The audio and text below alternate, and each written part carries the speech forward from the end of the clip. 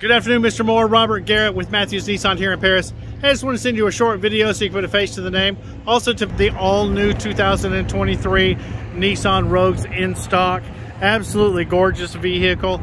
As you can see, I have several.